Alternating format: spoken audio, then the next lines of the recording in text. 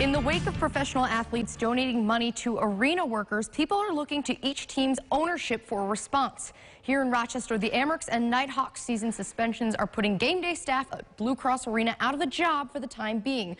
Pegula Sports and Entertainment remain pretty quiet on the issue until today. Kim Pegula released a statement regarding COVID-19 and employee wages, saying, quote, our game day employees at the arenas in Buffalo and Rochester will be paid for any lost wages due to regular season game cancellations. They are a part of our PSE family, and even though we expect that the games played will be played, we want to assure them they will be paid in the event that is not the case. We are grateful for gestures from our players, staff, and the Buffalo Sabres Foundation, who have all offered to step up in a time of need.